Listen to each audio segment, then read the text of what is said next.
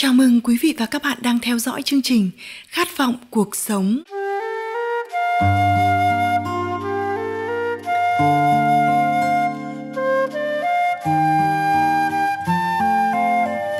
Chương trình hy vọng quý vị và các bạn sẽ có những giây phút bình an bên người thân khi thưởng thức khát vọng cuộc sống. Kính thưa quý vị và các bạn, khi Phật Thích Ca Mâu Ni còn tại thế, đã từng dự ngôn với các đệ tử của mình về thời mạt thế mạt kiếp. Trong Phật gia cũng giảng về thời mạt thế mạt kiếp, tức là lúc này, trong tâm con người không còn đạo đức để ước thúc suy nghĩ và hành vi nữa. Các pháp trong quá khứ cũng khó cứu độ được con người nữa. Theo các dự ngôn, hiện nay chúng ta đang sống ở thời kỳ mạt kiếp. Kiểm chứng những lời dự ngôn và những ghi chép từ các thời kỳ mạt pháp trước kia trong lịch sử, chúng ta thấy rằng hiện nay con người chúng ta tai ương, tai nạn, bệnh tật, các thứ loạn bậy trái với đạo đức làm người xuất hiện liên tục. Chúng ta cùng suy ngẫm về những điều này với các chia sẻ trong chương trình. Khi Phật Thích Ca tại thế đã xác định rõ ràng bảo với A Nan, này chánh pháp di trụ 500 năm. Điểm này tại Phật giáo trong Nam truyền ba lời luật tạng, tiểu phẩm đệ thập, tỳ kiêu ni kiền độ, tỳ khiêu ni bát kính pháp. Trong bắc truyền, di sa tắc bộ và tiên ngũ phân luật, quyển nhị thập cửu trong bắc truyền, tứ phân luật, quyển đệ tứ thập bát, tỳ kiêu ni kiền độ đệ thập thất. Trong bắc truyền, trung a, hàm kinh quyển đệ nhị thập bát. Trung a, hàm lâm phẩm cù đà sa kinh đệ thập. Trong bắc truyền, phật thuyết cù đàm sa ký quả kinh. Tống Tam Tạng, Pháp Sư Huệ giảng dịch, đều có ghi chép xác định rõ ràng. Trong thời kỳ trụ thế chính Pháp của Phật Thích Ca truyền, chính Pháp của Ngài có khả năng độ người, khẳng định là không có vấn đề. Nhưng mà Phật Thích Ca sớm đã giảng rằng chính Pháp của Ngài truyền ra duy trụ 500 năm. Hiện nay đã đi qua hơn vài cái 500 năm rồi – Pháp cũ thật sự từ sớm đã đi vào thời kỳ mạt Pháp rồi. Hơn nữa, những luận thuật trong kinh Phật liên quan đến thời kỳ mạt Pháp đã không độ được người, tuyệt đối không chỉ một chỗ này. Tỷ dụ, trong kinh điển Phật giáo, chim sát thiện ác nghiệp báo kinh, minh sát giảng đến, con người đến thời kỳ mạt Pháp, căn cơ chậm chạp, thiếu tin với Phật Pháp, người đắc đạo rất ít cho đến dần dần ở trong tam thừa, thành vân thừa, tiểu thừa, duyên giác thừa, trung thừa, đại thừa, bồ tát thừa, người tính tâm thành tựu cũng là rất ít.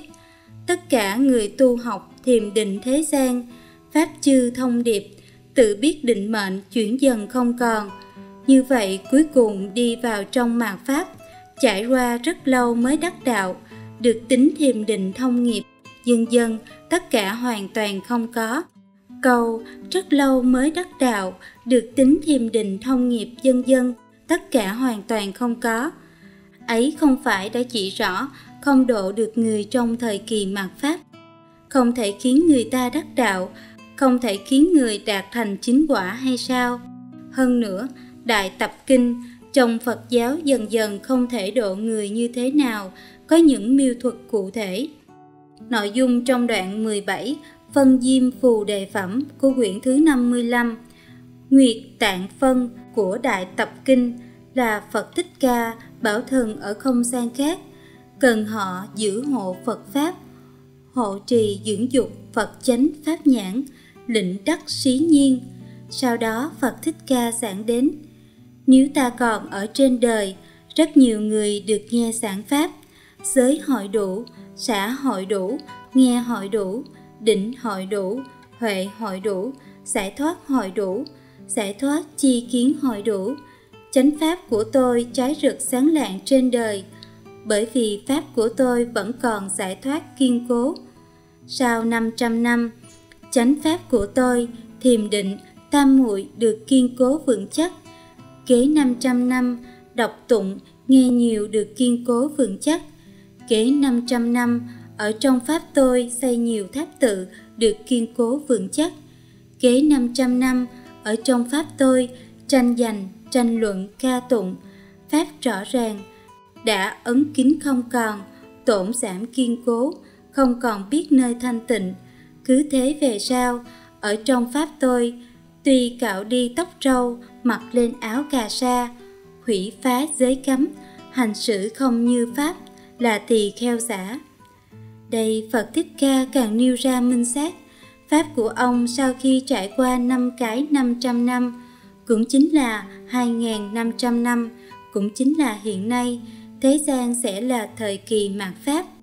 Trong lịch sử nhân loại chúng ta, khi một Pháp mạt sẽ có một Pháp mới được truyền. Trước khi Phật Thích Ca Mâu Ni truyền Pháp độ nhân, thì Bà La Môn Sáo trước đó cũng được truyền cả ngàn năm, sau đó bước vào thời kỳ mạt.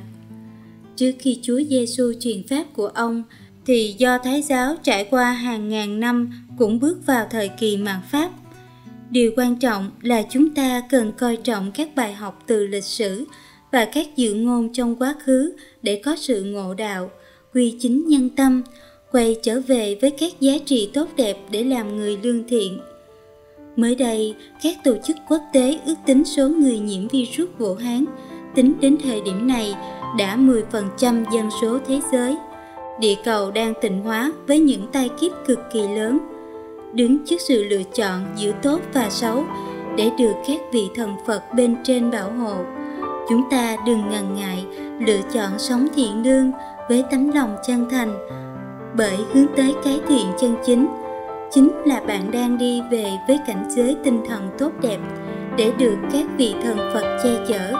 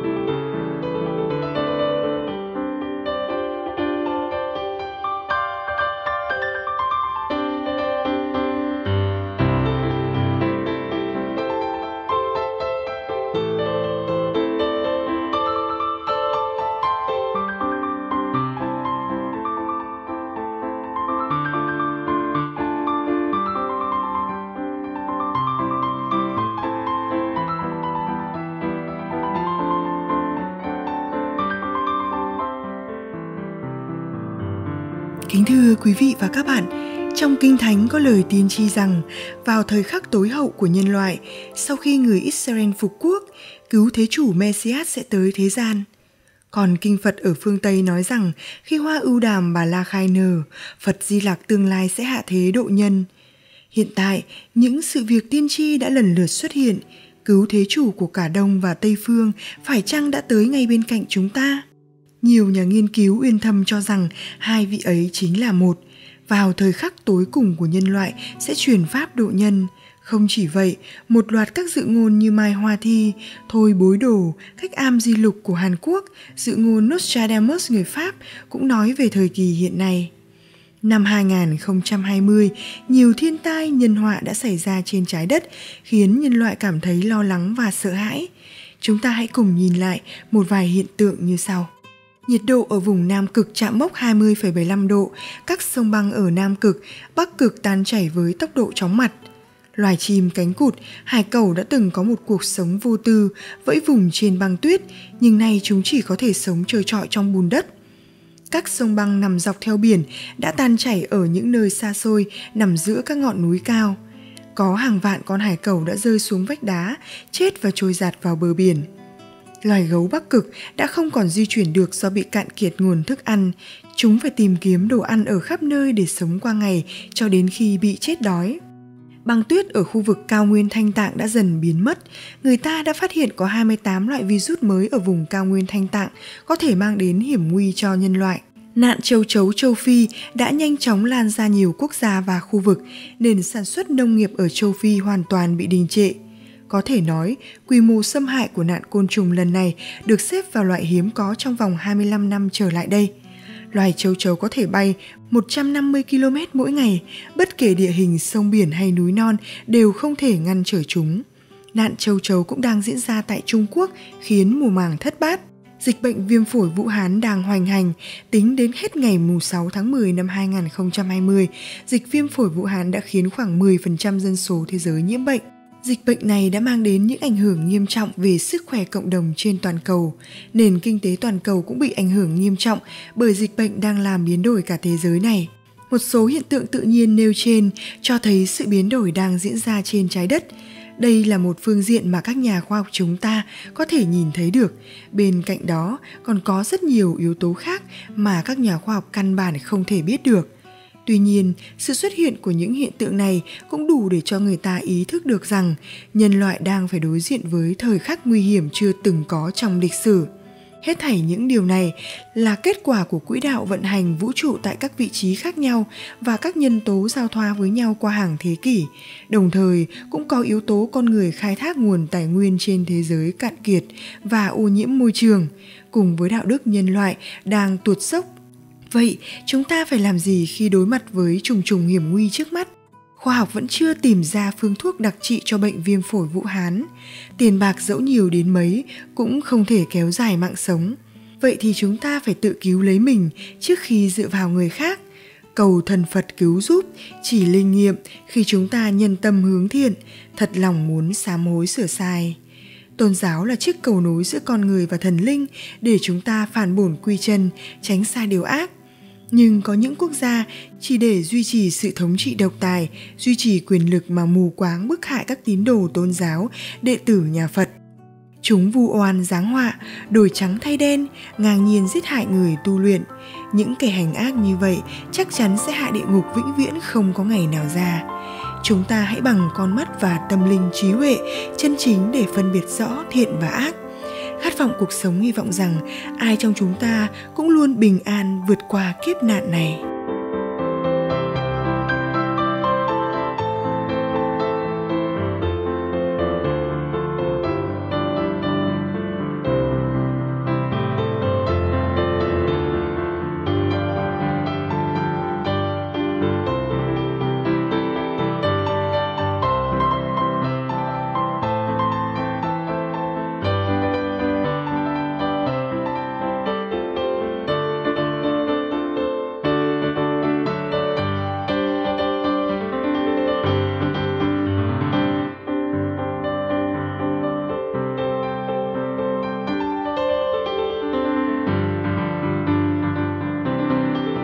Chương trình của chúng tôi đến đây xin phép tạm dừng. Quý vị và các bạn hãy cùng chúng tôi chia sẻ những video ý nghĩa này cho người thân và bạn bè của mình, đồng thời nhấn vào đăng ký kênh để không bỏ lỡ các số tiếp theo của Khát vọng cuộc sống. Chương trình được phát sóng trực tiếp vào 20 giờ 30 tối thứ năm và chủ nhật hàng tuần. Xin mời quý vị và các bạn chú ý đón xem. Hẹn gặp lại quý vị và các bạn trong các chương trình tiếp theo.